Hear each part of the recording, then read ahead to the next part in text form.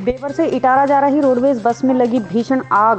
दू दू कर जली रोडवेज़ मचा हड़कंप। जिला मैनपुरी बेवर में इटावा जा रही रोडवेज़ बस में कूड़ी के पास टेक्निकल कमी के चलते अचानक भीषण आग लग गई। आग लगते ही बस में सवार यात्रियों में कोहराम मच गया। बस में लगभग दो दर्जन यात्री सवार थे। सभी यात्रियों को सुरक्षित निकाल लिया गया। बेवर डिपो में रोडवेज़ संख्या U P A T four T 2508 में लगी है भीषण आग। घटना की सूचना पाकर थाना पुलिस व दमकल की गाड़ियाँ मौके पर पहुँच गईं और बचाव कार्य शुरू किया।